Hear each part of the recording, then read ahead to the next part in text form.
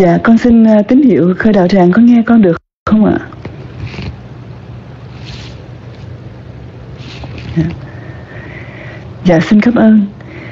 Thế Tôn tùy lời hỏi và giảng giải như vậy.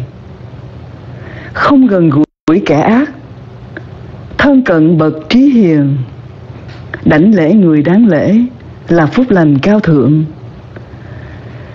Ở trú xứ thích hợp, công đức trước đã chân chánh hướng tự tâm, là phúc lành cao thượng. Đa văn nghề nghiệp giỏi, thông suốt các luật nghi, nói những lời chân thật, là phúc lành cao thượng. Hiếu thuận bậc sinh thành, dưỡng dục vợ và con, sở hành theo nghiệp chánh, là phúc lành cao thượng. Bố thí hành đúng pháp, giúp ích hàng quyến thuộc giữ chánh mạng trong đời là phúc lành cao thượng. Xả ly tâm niệm ác, chế ngự không say xưa, không phóng vật trong pháp là phúc lành cao thượng. Đức cung kính khiêm nhường, tri túc và tri ân, đúng thời nghe chánh pháp là phúc lành cao thượng. Nhẫn nhục lời nhu hòa yết kiến bậc sa môn tùy thời đàm luận pháp là phúc lành cao thượng. Tự chủ, sống phạm hạnh, thấy được lý thánh đế, giác ngộ đại niết bàn là phúc lành cao thượng. Khi xúc chạm việc đời, tâm không động, không sầu, tự tại và ô nhiễm là phúc lành cao thượng. Những sở hành như vậy, không chỗ nào tất khắp nơi được được an toàn là phúc lành cao thượng. Dạ mô phật con vừa trong bài hạnh phúc kinh. Dạ con xin phép được xuống mic. Dạ xin kính cảm ơn sư thanh tâm Sajini Khema và quý đạo tràng.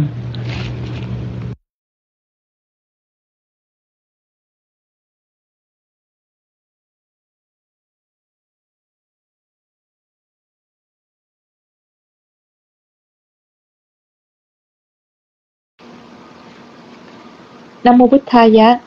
Dạ con Nguyên Trang Và một lần nữa con kính đảnh lễ Sư Thanh Tâm Và con kính đảnh lễ Sư um, Pháp Tính Con kính đảnh lễ Chư Tôn Đức Tăng Ni Kính chào Đạo Tràng Và kính lễ cô tu nữ Khê Mang.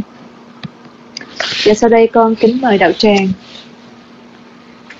Dạ con cảm ơn Đạo Tràng đã cho con biết được tín hiệu. Dạ con kính mời Đạo Tràng cùng con lắng tâm thanh tịnh để thỉnh Pháp Sư ạ. à. Namo tassa bhagavato arahato samma sambuddhassa namo tassa bhagavato arahato samma sambuddhassa namo tassa bhagavato arahato samma sambuddhassa Dhammadeshanaya Janagatha Brahmachalokatipati Sahampati Katanjali Antiwarang Aya Chatha.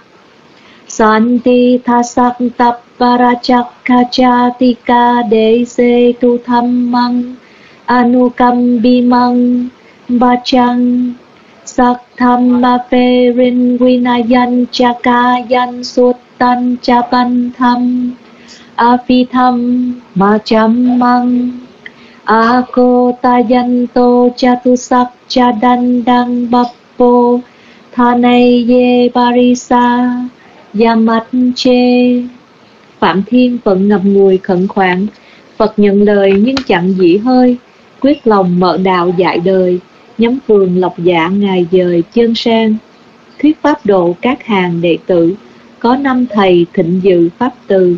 Đó là nhóm kiều trần như, được nếm hương vị hữu dư niết bàn.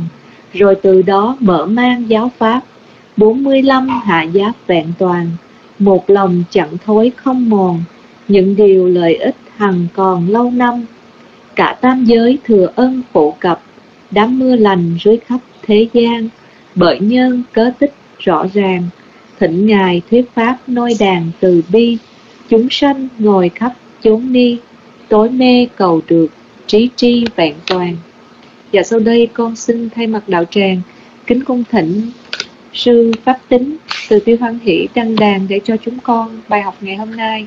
Dạ con kính dân mít lại cho sư ạ. À. dạ con xin xuống mít.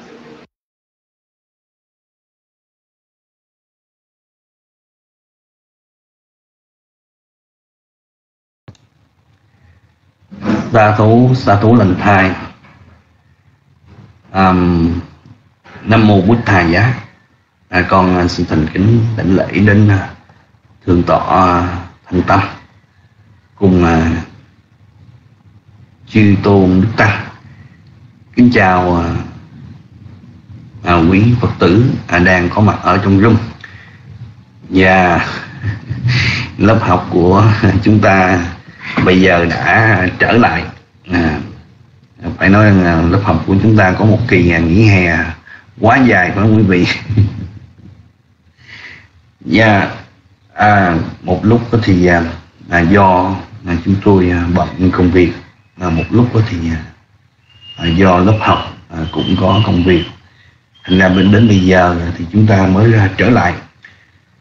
Vậy thì à, ngày hôm nay trở lại chúng tôi à, tiếp tục à, cũng giảng cho quý vị nghe à, về à, bài kinh niệm lành à, vậy thì à, trước khi à, bắt đầu vào bài giảng thì à, chúng tôi xin được à, thành tâm làm lễ tam bảo các tôn đạo Arahang Sama Sambuddho Bhagava Buddhang Bhagavantang Apivademi Soakato Bhagavata Thammo Dhammang Namasami Supatipano pangawato Sawaka Sangho Sanghang Namami lokasa Na Thằng Varamuttamahang Buddhanh Giác Thầm Mình Giác Bách Namami Sanghang Đệ tử xin nghiêm tình thân khẩu ý tán dương ân đức của Tam Bảo, Đức Phật, Giáo Pháp và Chư Tăng. Phần phước phát sanh do sự tán dương ân đức Tam Bảo một cách tóm tắt xin thành kính dâng đến chư tôn đức tăng và xin chia điều phước này đến quý cô tu nữ cùng các vị thiện nam tín nữ cầu nguyện hồng ân của tam bảo luôn giao quý vị thân tâm thường được an lạc. Nam mô bút tha giá. À, kính thưa quý vị à, vừa rồi thì à, à, chúng ta đã học à, qua cái à, à cái, cái cái đoạn à, kệ ngôn à, à, số à, à, số 3 bây giờ thì à, chúng ta tiếp tục à, học về cái đoạn à, Phật ngôn à, số 4 à, chúng ta có lẽ ngày hôm nay thì à, chúng ta sẽ học cái à, kệ ngôn đầu. À, cái kệ ngôn đầu ở trong cái à, đoạn à, số à, số 4 này. Batiru hoa sô Chát Búp Bê Chát các tập buồn nhớ ta. Kata sầm mà Bát nhiệt Thí Chát E Tăng Măng lút Tam Măng. Ở trú xứ thích hợp công đức trước đã làm chân chánh hướng tự tâm là điềm lành tối thượng thì à, ở trong cái phần à, câu Phật ngôn này đó à, chúng tôi nghĩ rằng chắc có lẽ là chúng ta học chỉ có một cái một cái dòng thôi một dòng chữ. Batiru Bát De Sawaso là chúng ta chỉ có học một dòng chữ đó thôi là coi như là đã hết thời gian. À, vì à, đối với cái cái dòng chữ này đó là cái lời dạy này á, thì nó được rất là rộng quý vị. À, rất là rộng rất là dài. Nên chúng tôi ờ, chỉ ờ, trình bày cho quý vị nghe à, về một cái câu đầu tiên thôi. Ở trú xứ thích hợp. Là như thế nào ở cái trú xứ thích hợp? Và trước tiên á để mà đi vào à, cái à, cái trú xứ thích hợp á thì chúng tôi cũng giải thích từ vựng cho quý vị. Batiru bá Batiru bá có nghĩa là thuận lợi. Batiru bá có nghĩa là thuận lợi. Đề xá Đề xá có nghĩa là trú xứ à, hoặc là chỗ ở. Qua xá là cư ngụ à, Qua xá là cư ngụ hoặc là cái cái cái nơi mà mình đang sinh sống. Vậy thì Batiru bá Đề Sát Xô à, có nghĩa là ở trú xứ thích hợp ở trú xứ thuận lợi ở đây thì à, quý vị thấy rằng á ở trong cái bài kinh này đó các vị thiên nhân các vị chư thiên chỉ hỏi về cái điềm lành nhưng mà sau khi mà biết về à, ba cái điềm lành rồi đó là ba cái điềm lành trước đó, là có nghĩa là thân cận kẻ ác à, mà thân cận bậc trí hiền cúng dường bậc nên cúng dường. Tại sao mà đức phật á, mà giảng về ba cái điềm lành đó rồi. Mà bây giờ đó đức phật lại thêm là cho các vị chư thiên nghe về ở cái trú xứ thuận lợi ở cái trú xứ thích hợp này. Có nghĩa là quý vị thấy rằng á ví dụ như ví dụ như ai đó người ta hỏi mình à, cái điều đó sau khi mình trả lời cái điều đó xong rồi thì thôi. À, nhưng mà ở đây á, đức phật à, đã trả lời thêm à, cho các vị chư thiên nghe về những cái chi pháp sau này nữa nè ở trong đó thì có bát tiết ru bát đê sawaso có nghĩa là ở chú xứ thích hợp. Thì ở trong cái ở trong cái phần mà luận giải á, mới giải thích gì nè giống như một người mà có tâm quảng đại thì khi mà người ta bố thí đó là người ta bố thí người ta cho đó thì người ta cho cái vật đó là cái vật chính. Rồi nếu mà cần nữa còn người ta cho thêm à, nếu mà người ta có cái gì đó người ta sẽ à, cho thêm. Cũng như giống như là mình nói mình ăn cơm nhưng mà thật sự ra ở trong cơm đó nó có canh nó có dịch thực nó có nó có nó có món này món kia. À, chứ không phải là cơm không. Đó thành ra đó quý vị thấy rằng các vị chư thiên sau khi mà hỏi à, đức thế tôn à, về điềm lành rồi khi mà đức thế tôn à, trả lời ba cái điềm lành là không có thân cận người ác thân cận bậc trí hiền cúng dường bậc nên cúng rồi thì đức phật lại trả lời thêm à, cho các vị thiên nhân nghe là bát tiết ru ba sa qua xô có nghĩa là ở cái chú xứ thích hợp à, ở cái chú xứ thích hợp đó. Thì à, cái à, cái chữ à, bát tiết ru bá có nghĩa là thuận lợi à, hoặc là thích hợp có nghĩa là như thế này quý vị chúng ta ở một cái nơi nào đó à, chúng ta ở một cái nào đó mà chúng ta làm cho à, những cái thiện pháp á, nó chưa sanh nó có, có cơ hội nó sanh lên. Những cái thiện pháp á, mà đang có đó thì nó sẽ có được cái cơ hội để mà nó tăng trưởng. À, thì chúng ta nên ở chú xứ đó. Còn mà chúng ta ở một cái chú xứ nào đó mà tối ngày nó phiền phức à, nó à, nó sẽ nó làm cho tâm mình à, bực bội làm cho tâm mình khó chịu. À, thì cái trú xứ đó chúng ta không nên ở. Quý vị biết đó ngày xưa đó các cái bậc tiền nhân của chúng ta đó khi mà tu tập đó nói về cái chú xứ đó thì sẽ giúp rất là nhiều à, cho các vị. Ví dụ như quý vị thấy rằng ở trong ở trong kinh đó, à, đức phật cũng dạy khi mà ta đó là khi mà đức phật đó là một cái vị mà còn là một cái vị mà um, đạo sĩ mà sống ở trong rừng á tâm ta mà được định tĩnh à, không bị tán loạn sống tại các chú xứ xa vắng à, rừng núi quan du thành tựu được à, định tâm à, trong những cái bậc thánh mà thành tựu định tâm như vậy đó sống tại các chú xứ à, xa vắng rừng núi quan du thì quý vị thấy rằng á đức phật á cũng nêu lên là những cái điều này là những cái những cái chú xứ này á, làm cho à, làm cho đời sống của ngài à, được cái sự định tâm. Thì à, nhưng mà nói đi á, thì cũng nói lại à, chúng ta thấy rằng á, đối với những người khi mà sống ở những cái chú xứ thanh vắng là để chỉ vị? Để trao dồi à, để trao dồi cái sự định tâm của mình. Chứ không phải là để khoe à, để khoe là tôi tôi bỏ phố lên rừng nha. À, tôi sống ở ở trong núi trong hang. Tôi sống một cái cuộc đời đạm bạc. Cái điều đó nó nó không phải. Những người ở trú xứ xa vắng ở trên núi tu tập hoặc là ở trong rừng tu tập hoặc là ở trong một cái hang động tu tập thì những người đó có cái hình thức là tu tập là giống nhau. Nhưng mà cái chất lượng hoặc là cái bên trong nó đều khác nhau hết thí dụ như đối với bản thân nhiều khi chúng tôi uh, khoe với quý vị ờ, à, từng vừa rồi nha à, tôi á, là lên núi à, tôi ở à, tôi ở trong cái cái hang nó được từng lễ vừa rồi. Đó đó thì cái đó, đó là giống như là mình mình giống như là mình mình mình khen về à, cái bản thân mình.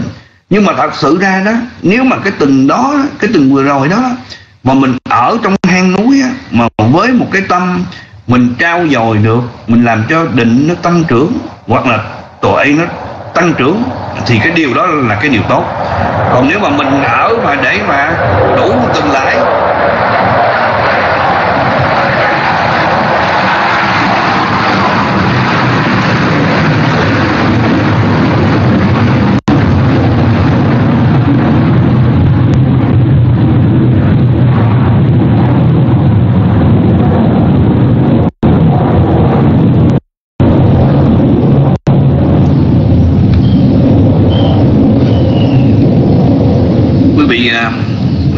máy bay nó bay ồn không bài bay nó bay ồn không quý vị alo.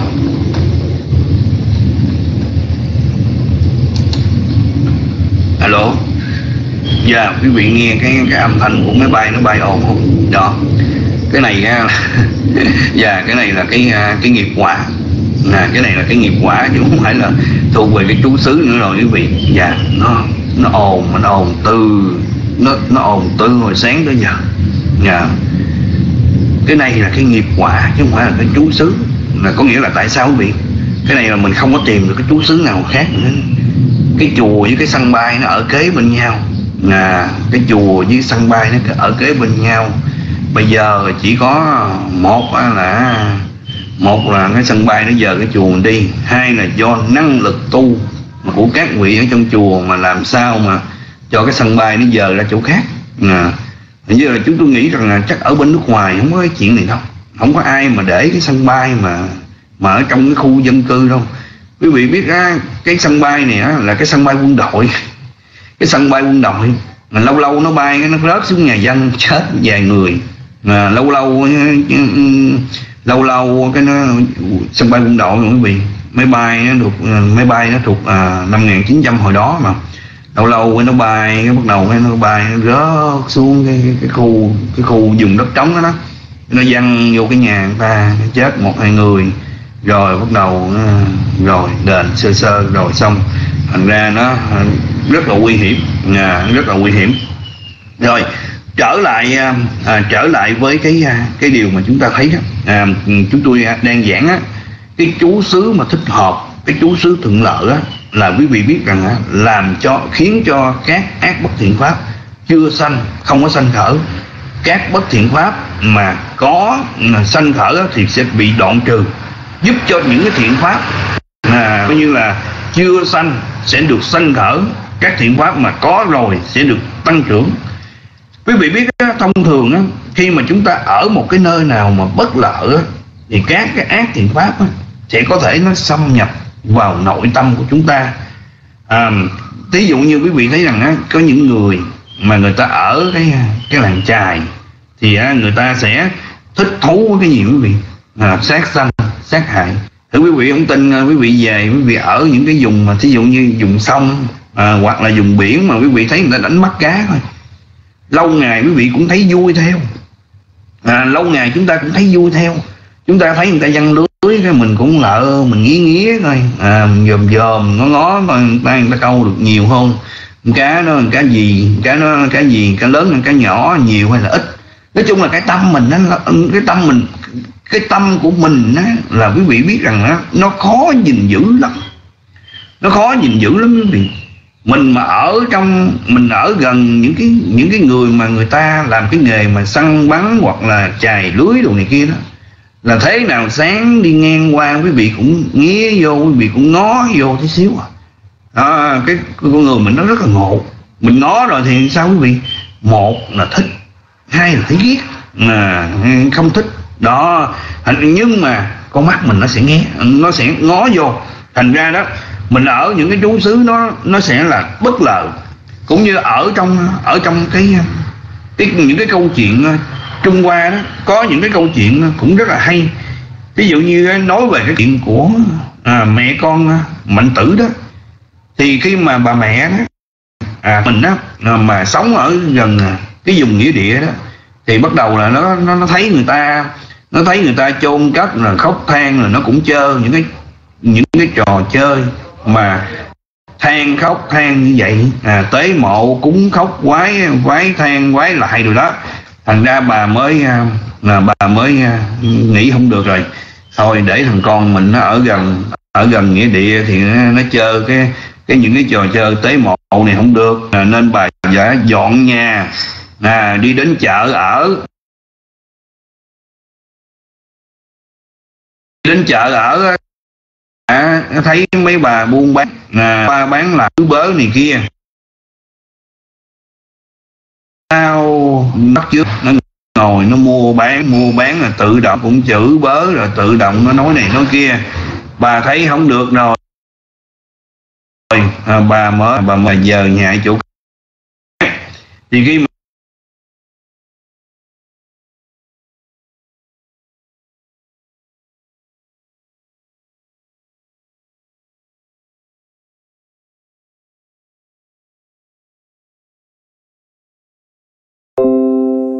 giờ nhà chỗ khác bắt đầu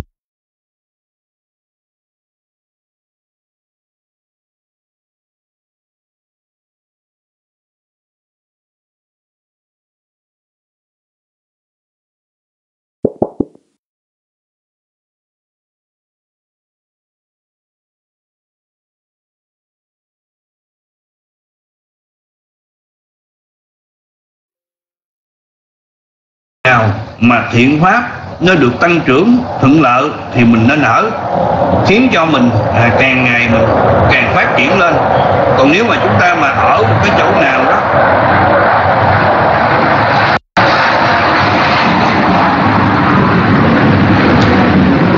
quý vị nghe quý vị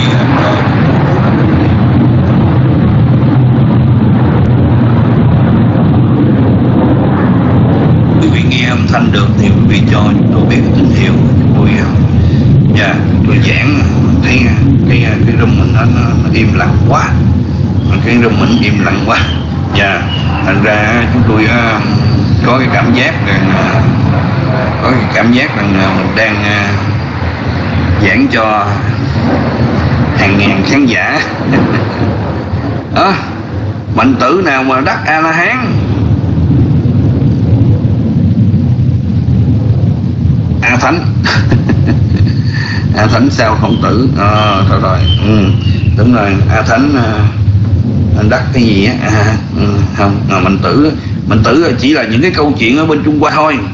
Nhưng mà quý vị biết không?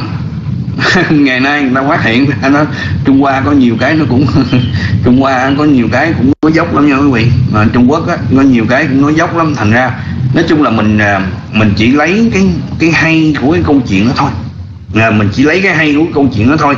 Thôi bây giờ chúng tôi kể cho quý vị nghe cái à, à, chúng tôi kể cho quý vị nghe cái câu chuyện ở trong Phật giáo đi. Trong câu chuyện trong Phật giáo là chúng tôi bảo đảm quý vị là có thiệt. Là là có thiệt. Có nghĩa là cái chú xứ thích hợp á quý vị thấy rằng à, quý vị nhớ trong pháp quốc kinh đó, cũng nói về một cái cậu bé không? Đó một cái cậu bé ở gần chùa kỳ viên nhà ở gần chùa kỳ viên thành ra đó là coi như là nghe à, nghe chư tăng tụng kinh hoài. Nam mô ta tassa to arahato samma buddhassa thì à, thì quý vị thấy rằng có những người phật tử cũng vậy. Thật sự ra có những người phật tử không học Bali gì hết. Không có học ba ly hai ly gì hết. Nhưng mà chúng tôi biết là những người đó khi mà ai tụng là cái vị đó cũng tụng được. Nam mô ta tassa to là coi như là cái người đó vẫn tụng được.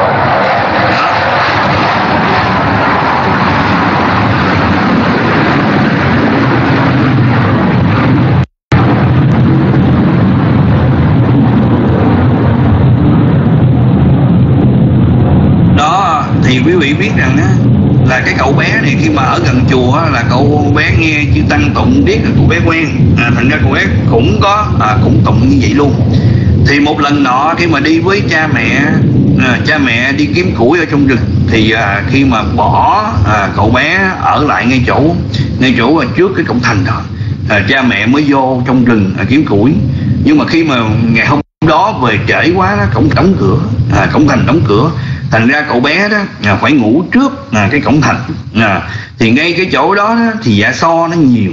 Là dạ so nó nhiều. Thì khi mà khi mà dạ so nó nó nhiều rồi đó thì quý vị thấy rằng á là coi như là coi như là dạ so nó nhiều á nó mới nó mới định là giết cái cậu bé này. À, ăn thịt cái cậu bé này. Nhưng bé lăn lúc mà cậu bé lăn qua đó thì có cái thói quen là ưa đọc cái câu kinh đó thành ra đó à, cái con dạ so nó nghĩ rằng là mình à, mình đã đụng đến à, một cái vị mà đệ tử của à, đức phật. Thành ra cái con dạ so này nó sám hối bằng cách là nó phải lấy cái thức ăn à, của nhà vua mà đựng bằng cái cái dĩa bằng vàng đó à, nó đem vô. Đó thành ra đó thành ra khi mà khi mà khi mà cái cậu bé này á à, khi mà nhà vua mất đi cái dĩa đó thì mới tìm ra ở đây được à, và mới biết rằng là khi mà điều tra đó, à, mới biết rằng là coi như là cậu bé này không phải là cái người ăn cắp nhưng mà có những cái à, giả so. Thành ra từ đó trở đi thì quý vị thấy rằng á ông ta ông ta rất là à, rất là ừ, đức vua à, đã có cái sự mà à, mến về cái mến về cái cái cậu bé này. Thành ra quý vị thấy rằng khi mà giờ quý vị còn nghe.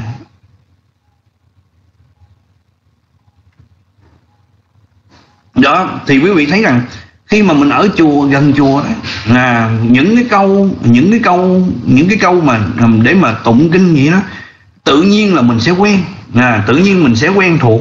Thành ra nó làm cho cái cái thiện pháp của mình nó tăng trưởng. Và nhiều khi tự động sẽ hộ trì là được bản thân của mình liền. Tự động hộ trì được bản thân của mình liền thành ra quý vị thấy rằng đối với cái chỗ ở là cái chỗ ở cái trú xứ mà nó được thuận tiện nó được thuận tiện như vậy đó thì coi như là nó sẽ làm cho cái thiện pháp của mình rất là dễ phát sanh. Cái chỗ ở thuận lợi đó thì quý vị thấy rằng á ừ, là tại sao mà đức phật à, khuyên các vị tỳ khu à, đi vào những cái nơi thanh vắng à, như là núi rừng cội cây nhà trống đồ này kia à, vì cái chỗ đó đó nó không có à, những cái cảnh sắc cảnh tinh cảnh khí cảnh vị à, cảnh xúc à, mà làm cho tâm của mình liếng ái. À, nó không có làm cho cái cái điều kiện.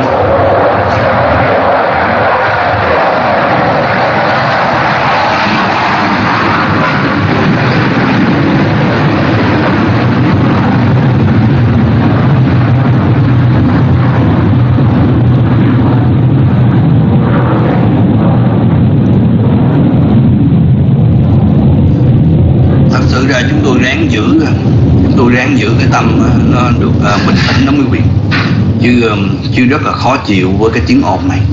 Là chúng tôi mong quý vị à, cũng ráng cố gắng uh, ủng hộ chúng tôi. Đó thì Đức Phật á, khuyên các vị tỳ kheo nên đi đến những cái chỗ à, mà à, khu rừng cội cây à, nhà trống rồi đó nữa. Thì những cái chỗ đó nó không có những cái cảnh sắc cảnh thinh cảnh khí cảnh vị cảnh sốt à, mà cho tâm mình dễ khởi lên cái sự khả ái khả lạc ở trong đó. À, vì những cái những cái trạng thái mà khả lạc khả ái trong đó nó nó khiến cho những nhà những cái bất thiện pháp nó sẽ tăng trưởng. Là những cái bất thiện pháp nó tăng trưởng thành ra thành ra đức phật đó, mới à, kêu chúng ta đó là đi đến là đi đến một cái khu rừng à, hoặc là một cái ngôi nhà trống à, để chi? À, để ở chỗ đó chúng ta yên tịnh à, chúng ta hành đạo. Chúng ta yên tịnh chúng ta hành đạo.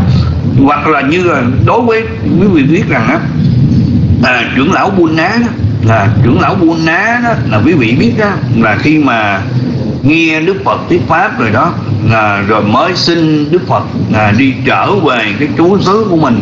Là có nghĩa là trở về quê hương của mình đó quê hương của mình để mà tu tập thì lúc đầu khi mà trở về à, quê hương của mình tu tập á thì lúc đó đó em của à, em của trưởng lão Buôn Ná đó à, trưởng lão Buôn Ná có một cái cô em gái là à, Chu Lá Buôn Ná thành ra cái vị trưởng lão này mới nghĩ rằng à bây giờ em mình biết chỗ của mình tu tập rồi mà em mình mà đến thăm hoài á thì coi như là mình cũng khó mà tu tập.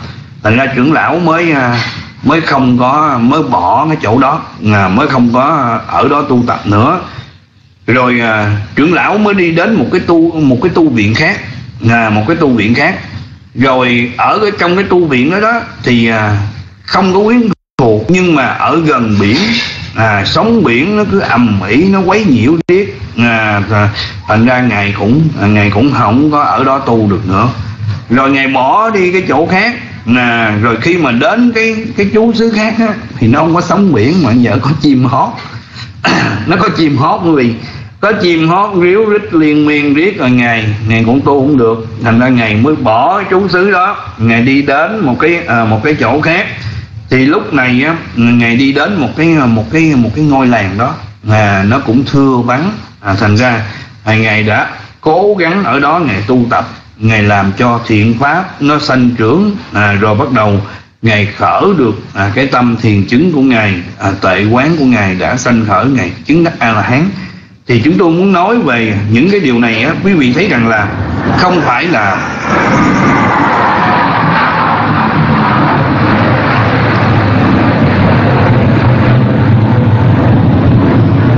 chúng tôi muốn kể ra cho quý vị quý vị nghe nhiều như vậy á, là để chi?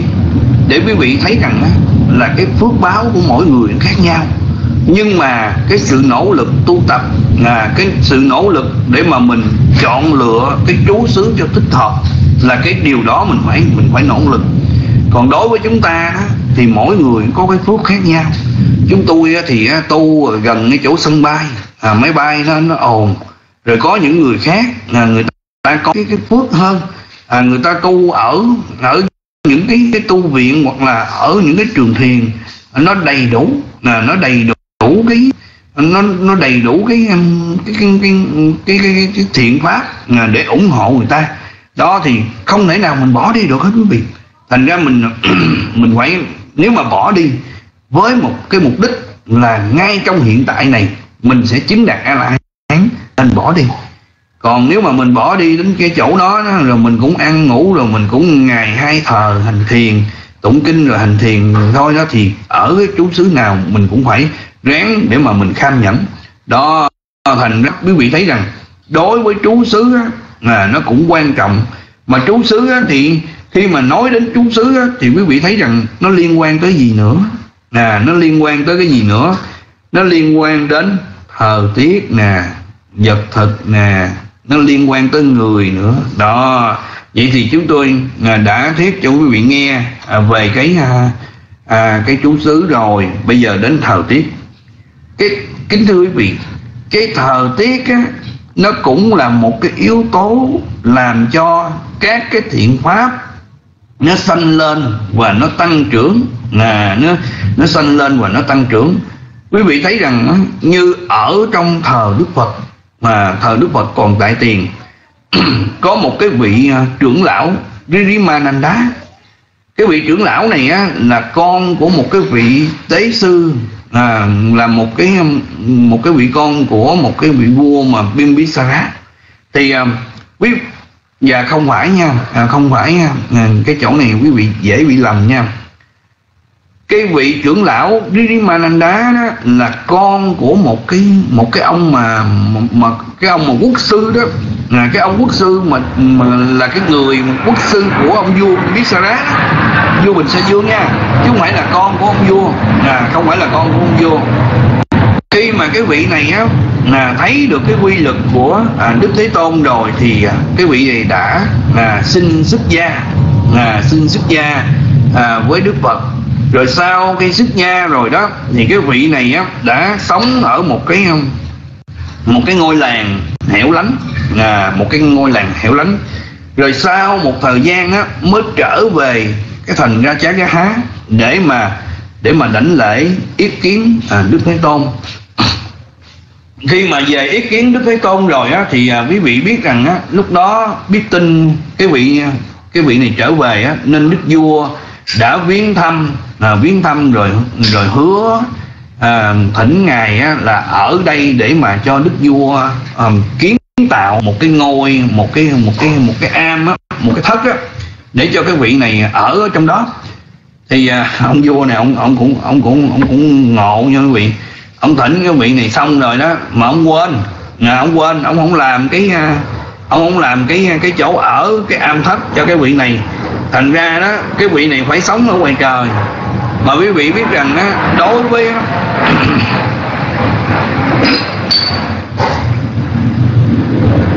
đối với những cái vị mà có giới đức mà đối với những cái vị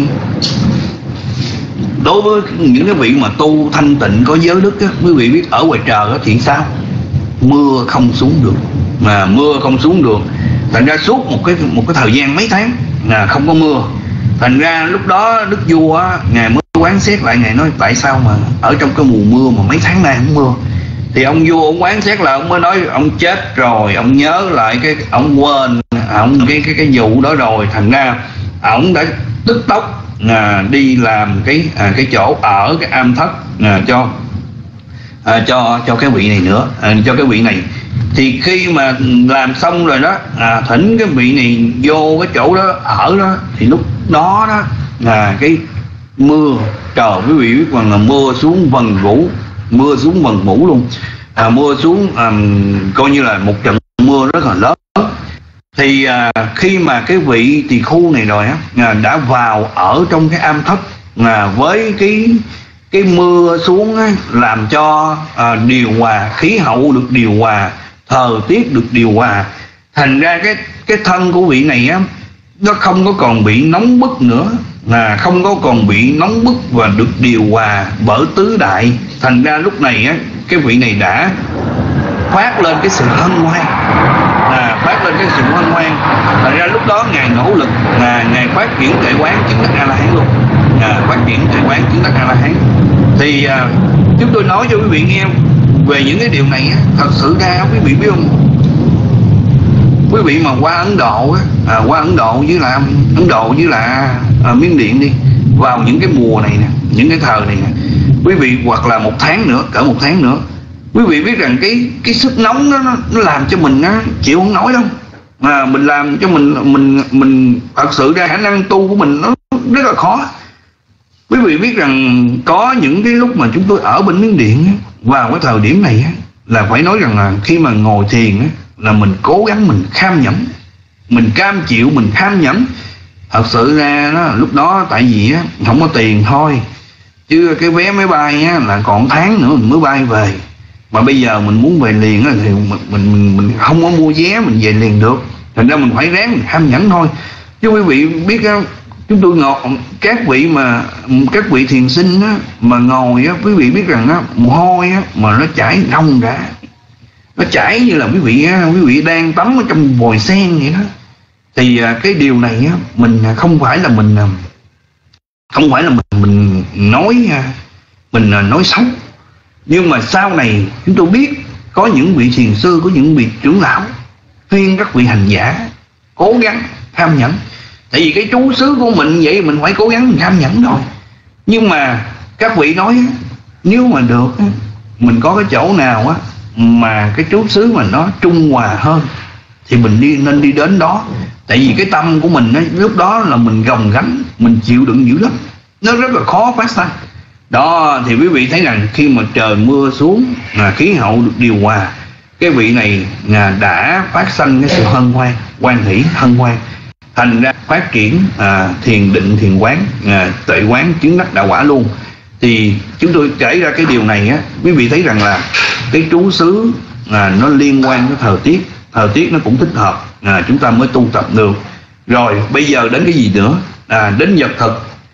Vật thực á, là cũng là một cái yếu tố rất là quan trọng để mà giúp cho à, chúng ta à, có được à, cái thân tâm an lạc. À, cái thân tâm an lạc ở trong nếu mà nói theo chi pháp á, vật thực sẽ là một yếu tố thích hợp giúp cho thân tâm được an lạc. Các thiện pháp chưa sanh có cơ hội sanh lên. Những thiện pháp nào sanh lên rồi có cơ hội sẽ được à, tăng trưởng. Đó.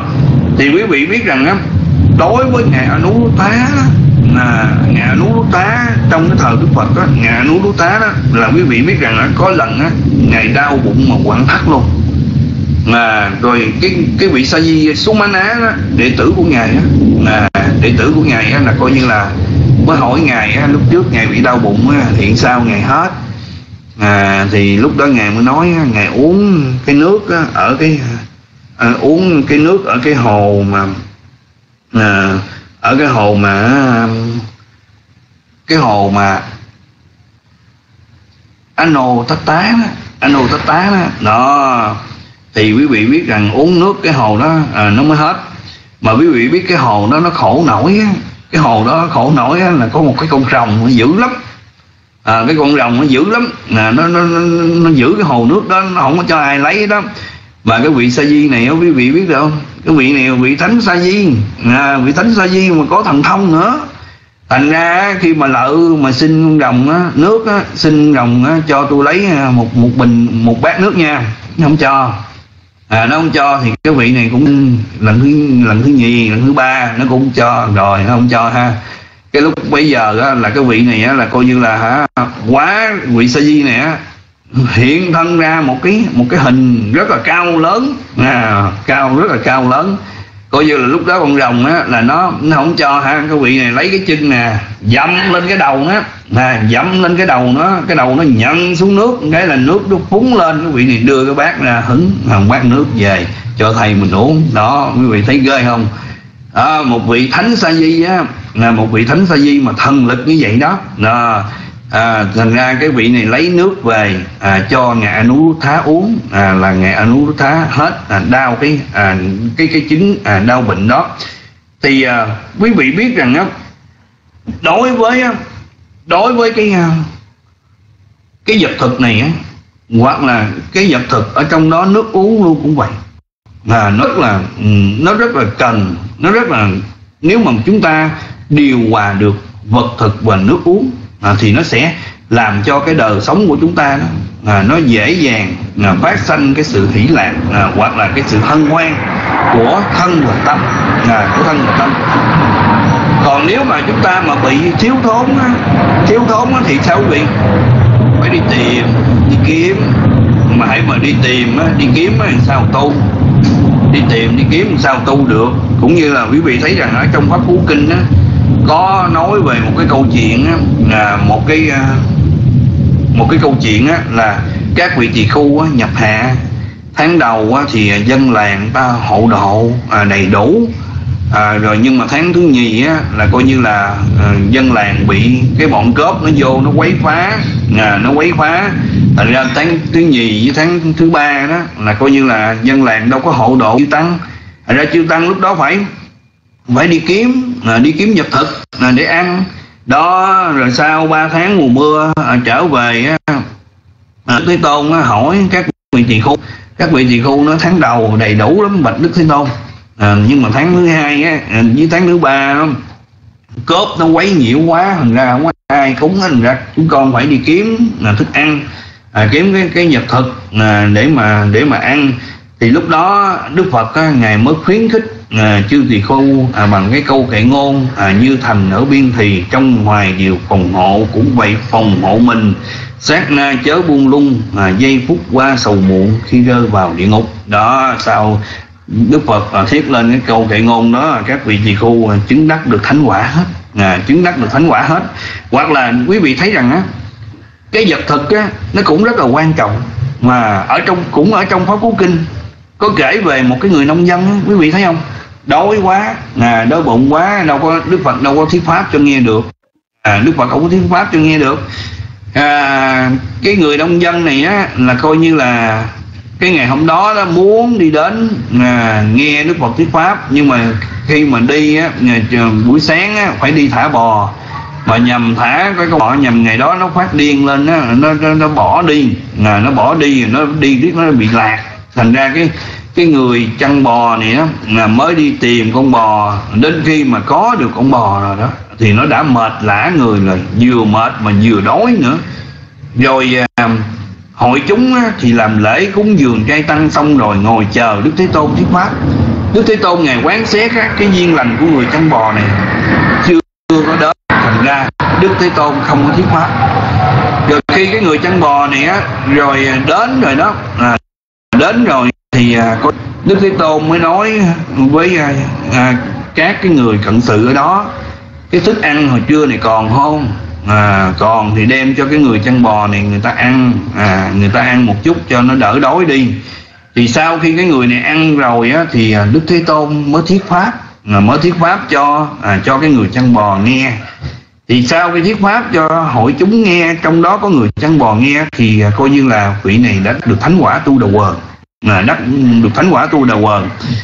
Thì à, khi mà khi mà hội chúng mà ra về hết rồi đó thì các vị tỳ khu mới bàn luận với nhau á à, tại sao mà tại sao mà đức thế tôn kêu đem cái thức ăn cho cái người chăn bò cho cái ông nông dân này ăn chi?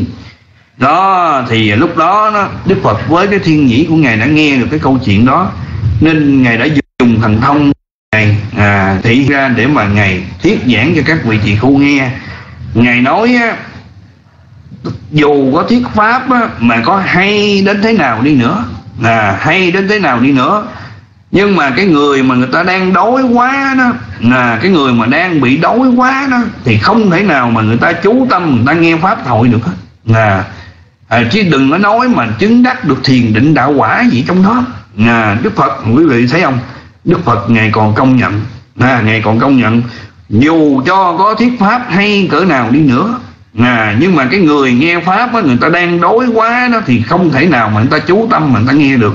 Thì đừng có nói chi mà đắc thiền định đạo quả. Đó chỉ khi nào vừa no no vừa đủ. À, no vừa đủ thì lúc đó à, người ta mới chăm chú nghe giáo pháp. Rồi người ta chăm chú nghe một cách liên tục liên tục như vậy. À thì coi như là định phát sanh. Nếu mà định phát sanh thì tệ quán phát sanh thì người đó mới có khả năng à, để chứng đắc là được đạo quả hoặc là chứng đắc được à, thiền định. Đối ăn bệnh tối thượng các hành khổ tối thượng hiểu như thật là vậy niết bàn lạc tối thượng. Ngài chỉ có niết bàn là là coi như là cao nhất. Đó thì quý vị chúng tôi nói về những cái điều này để chi quý vị? Để cho quý vị thấy rằng là chú xứ thờ tiết vật điều quan trọng hết à, dạ, đó quý vị thấy không? Khi mà mình tu tập à, cái này nó liên kết với cái kia.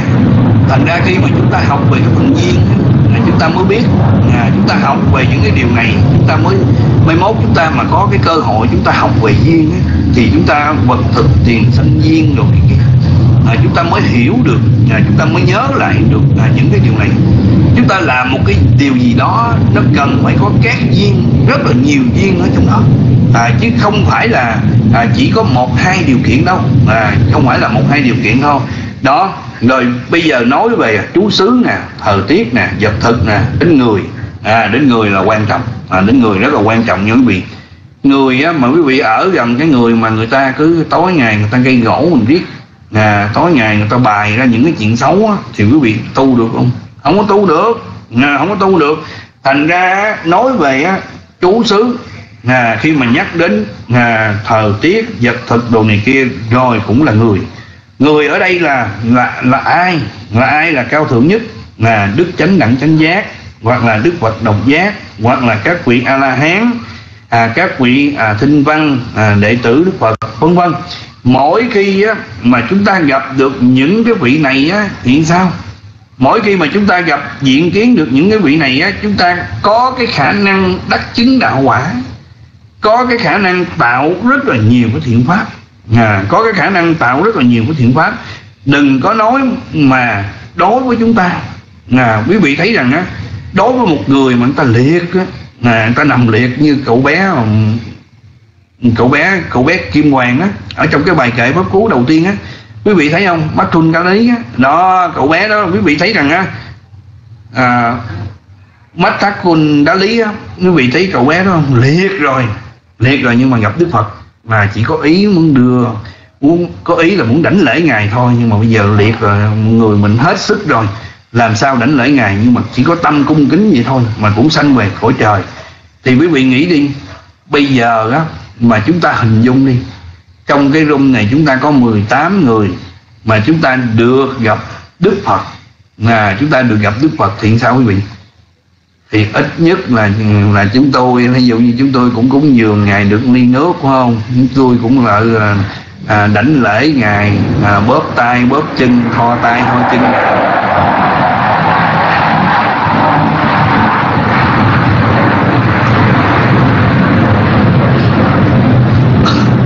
ngài quý vị nghĩ đi cái phước đó đó à, cái phước đó có hỗ trợ được đời sống mình tu tập những chẳng những trợ ở trong kiếp này và những kiếp về sau. Vô số vô số.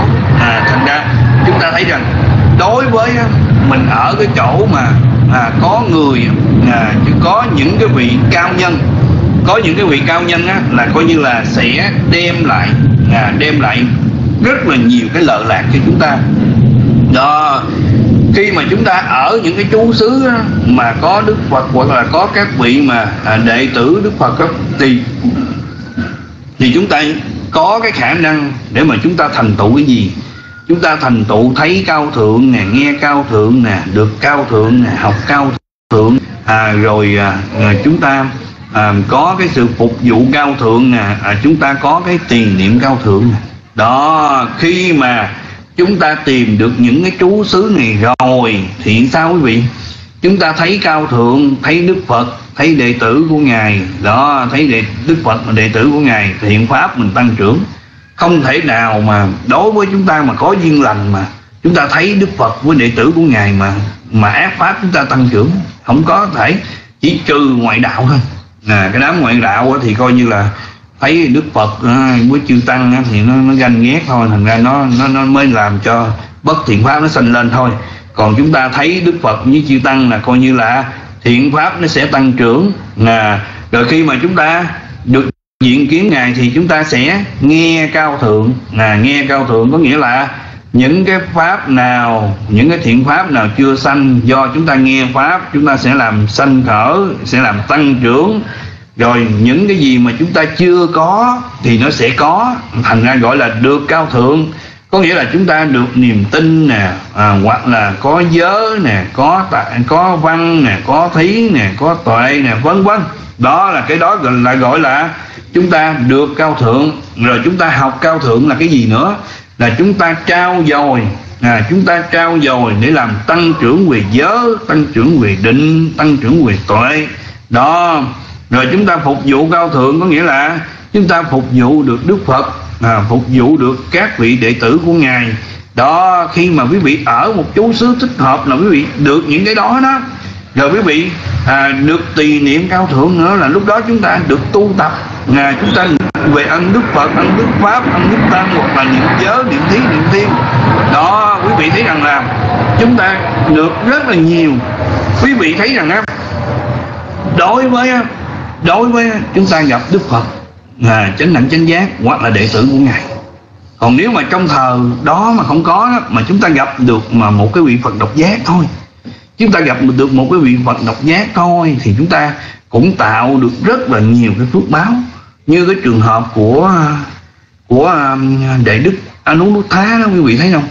Trong quá khứ là người làm công nhưng mà thấy đức phật độc giác đi bát cất thực bên đường ngài lật đật ngài đã đem à, những cái phần ăn của mình cúng dường à, cho ngài Anuruddha. Khi mà cúng dường xong rồi á ngài phát nguyện từ bây giờ cho đến cuối đời đến khi nào mà mình thành Phật là coi như là không bao giờ mà nghe cái chữ không có. Thành ra chính vì vậy đó mà quý vị thấy rằng đó là khi mà sau này ngài sanh ra đó à, coi như là không có lúc nào mà ngài thiếu thốn đó à, ngài không bao giờ ngài biết đến à, cái chữ không có. À, không bao giờ mà ngài biết cái, cái, cái chữ không có nó thành ra quý vị biết rồi. À, đối với à, mình gặp đức phật các vị a la hán à, hoặc là gặp đức phật độc giác mình đều tạo được à, những cái à, những cái phước báo rất là nhiều à, rất là nhiều. Quý vị thấy hoặc là quý vị thấy rằng đối với à, chư thiên ếch cũng vậy. Là chư thiên ếch chứ coi như là nghe pháp đức phật nghe pháp đức phật không có hiểu gì hết. Nhưng mà do tâm tôn kính à, tôn kính à, lúc đó bị cái người một đồng cái người chăn bò nó chống cái cây gậy lên cái mình rồi đau rồi chết. Chết rồi sanh lên làm à, chư thiên thành gọi là thiên tử ếch rồi sanh xong rồi xuống à, nghe pháp nữa rồi chứng đắc đạo quả tu đầu quần. Thành ra đó là chúng ta thấy rằng là khi mà mình à, ở cái chú xứ thích hợp rồi chú xứ thích hợp đó phải kèm theo cái gì? Thời tiết thích hợp. À, rồi vật thực thích hợp. Vật thực thích hợp rồi từ đó chúng ta có người thích hợp. Rồi người thích hợp thì chúng ta sẽ được những cái lợi ích như vậy. Thấy cao thượng nghe cao thượng được cao thượng phục vụ cao thượng niệm cao thượng chúng ta đủ thứ hết. À, chúng ta được đủ thứ hết. Chính vì vậy đó à, mà chúng ta à, mới có cái khả năng à, để mà để mà tu tập làm cho à, những cái thiện pháp à, nó sanh khởi à, những pháp mà hãy mà nó sanh khởi rồi á, thiện sao quý vị?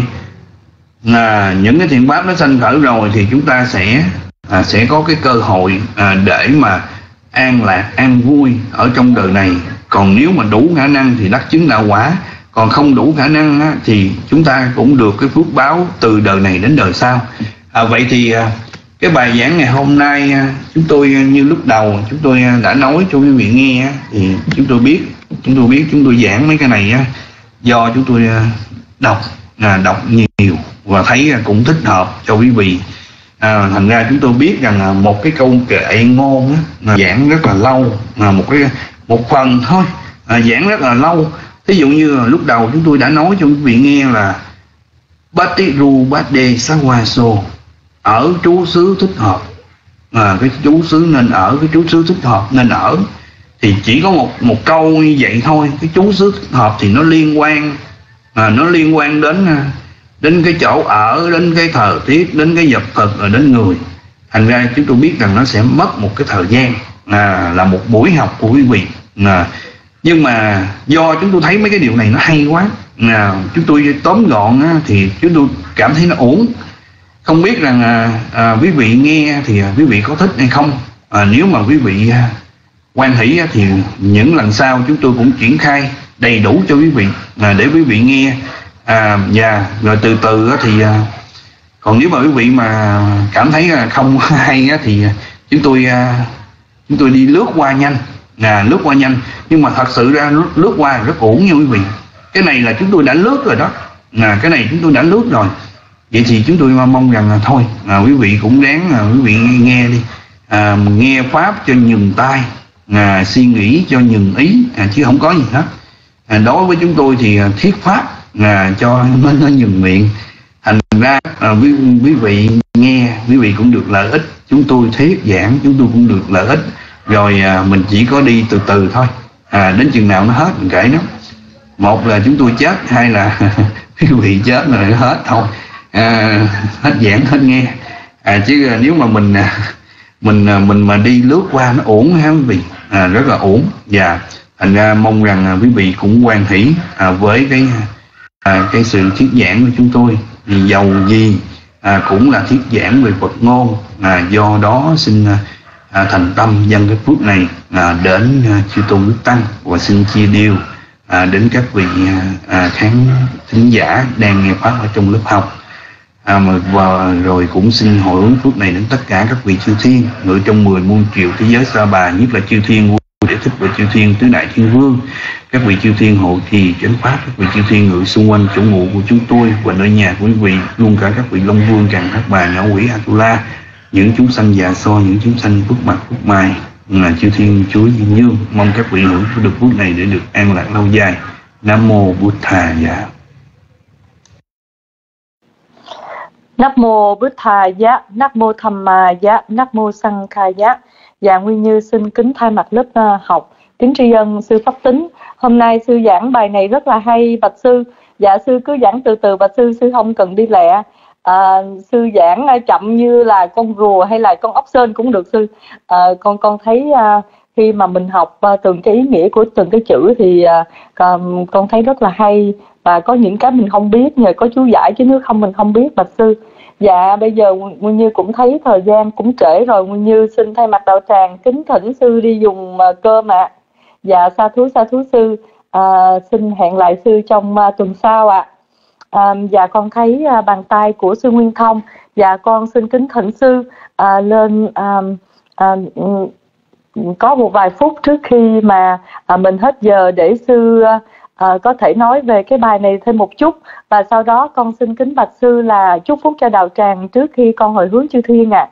Dạ con xin kính thỉnh sư Nguyên Thông ạ. À.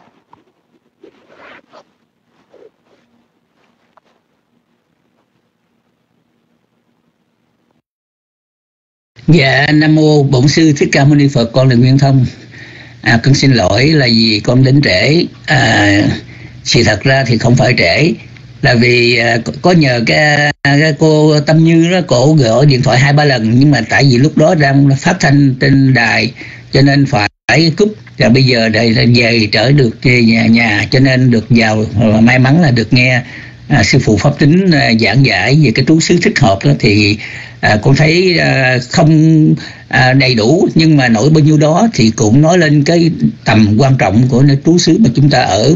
Xưa kia đó kính thưa chư chư vị là vì ngài mạnh mẫu là mẹ của mạnh tử đó. Thì khi mà à, sống ở cái chỗ mà du côn cái chỗ mà cái cái cái trú xứ du côn á thì ông mạnh tử lại đánh lộn nhau. Rồi sau khi ổng à, đi, đi à, ông ông bà mới dời nhà lên cái cái chỗ mà chỗ đó người ta giết à, thịt heo thì ra ông mạnh tử thì xung quanh đó rồi ông mạnh tử còn còn, còn nhỏ mà là tất cả mọi người đều bị ảnh hưởng bởi cái cái môi trường tôi gọi là environmental factor. Đó tức là cái mà à, I, I, environmental à, factor tức là à, cái môi trường xung quanh nó ảnh hưởng vì vậy cho nên sau đó cái bà ta giờ, giờ nhà lần thứ ba nữa là giờ nhà đến đến cái cái trường học xung quanh đó là là nơi dạy học. Thì ông mạnh tử lúc đó bắt đầu à, học hành. Và khi ông ta học hành thì ông ta siêng năng học hành để trở thành một bậc thánh ở bên à, bên khổng giáo. Vì vậy cho nên là là cái bài à, giảng giải của sư phụ pháp tính này à, vừa rồi thì nó cũng à, nằm ở trong giáo pháp của đức phật thích ca mâu ni mà cũng hợp với lại ờ, cái à, cái hoàn cảnh mà chúng ta sinh sống. Cũng như những cái quý vị nào mà có mặt trong ừ, cái đạo tràng này thường xuyên là quý vị trước sau về cũng phải giác là cũng giác ngộ. À, là vì được tiếng Tây gọi là Trompe là Buddhism, tức là được truy rèn truy rèn trong cái Phật giáo. Truy rèn nghĩa là ngày nào cũng lắng nghe, ngày nào cũng lắng nghe là buông xả, không có chấp ngã. Thì lần lần nó nó nó có cái mutation, có sự mà mà quán quán chuyển quán chuyển một cách tự nhiên, tự động. Tại vì mình mình thường thường mình ờ, mình ở trong một cái khung cảnh mà mà được trình bày cái chân lý tuyệt đối của giáo pháp Đức Phật Thích Ca Mâu Ni, cho nên gọi là cái Buddha Dhamma đó là cái giáo pháp của Đức Phật, mà giáo pháp của Đức Phật là chân lý tuyệt đối. Cho nên chúng ta lần lần do cái lắng nghe đó mà lần lần sẽ cái tâm nó nhuần đi, không còn cái sân si hay là tham đắm. Và lần lần do cái cái lắng nghe, cái sự mà nghe nhiều đó thì nó khiến cho chúng ta có cái cái cái quán chuyển trong cái tâm lý một cách tự nhiên. À, về vì là vì vì vậy cho nên trước sau gì tất cả những chư vị à, hiện đang có mặt trong đạo tràng này à, là dù là phật tử dù là tỳ kheo dù là cái tâm tính như nhưng mà nghe hoài thì đức phật nói là người nào mà mắc mắc dính bụi nhiều thì rửa hoài cũng sáng. Người nào mà mặc dầu ngu si cách mấy thì nghe nhiều cũng trở thành bậc hiền thiện. Vì vậy cho nên là nghiêm nguyên thông xin chúc mừng chư vị à, có mặt trong trần gian này thường thuyền có mặt trong trần gian này mà được lắng nghe pháp là một cái cái cái gọi là cái blessing mà cùng cái là cái phước báo của chúng ta để được nghe giáo pháp này. Thì chúng ta lần lần sẽ được uh, giác ngộ do cái sự thâm nhập thâm nhiễm uh, về giáo pháp mà cũng chúng ta thường xuyên à, nghe trong cái đạo, đạo tràng này cũng như trong đạo tràng Phật pháp nhiệm nồng màu màu hay là đạo tràng lớp Phật pháp Buddha Dhamma à, vì vậy con nhân nguyên thông xin chúc mừng à, chư vị. Và à, bây giờ nguyên thông xin à, à, à cũng phú chúc cho quý vị à, theo cái thông lệ. À, xin quý vị à, lắng tâm. Phawatu sabba mangalang rathang tu sabba devata sabba bhuta nufave nasada soti favang tu te Phawatu sabba mangalang rathang tu sabba devata sabba thamma nufave nasada soti favang tu te Phawatu sabba mangalang rathang tu sabba devata sabba sankha nufave nasada soti Phạ văn tu tê tất cả phước báo hằng có đến người cầu xin chư thiên hộ trì cho người do nhờ quay đức của chư Phật, do nhờ quay đức của giáo Pháp, do nhờ quay đức của chư Tăng. Các sự thành lợi thường thường đến người cầu xin cho quả của tâm tinh thành tam bảo cho được thành tựu mỹ mãn, cho được thành tựu mỹ mãn, cho được thành tựu mỹ mãn. Dạ dạ xin trong ai là chưa uh, ờ, Siết Nguyên Như. Xin chân thành tri ân chư vị đã lắng nghe. Xin mời Siết Nguyên Như. Nam mô Bụt Thà Giá, Nam mô Tham Dạ, Nam mô Sang Kha Dạ. Dạ con xin kính tri ân những lời giảng dạy của sư Nguyên Thông đối với học. Dạ một lần nữa con xin cũng à, kính tri ân sư Pháp kính nếu sư còn ở trong room. Dạ hôm nay bài giảng của chư Tăng rất là hay, Nguyên Như rất là xa thú ạ. À. À, bây giờ thời gian cũng vừa phải lẽ, Nguyên Như xin kính mời Đạo Tràng cùng với Nguyên Như hồi hướng công đức mà nghe Pháp của mình đến với chư Thiên ạ. À.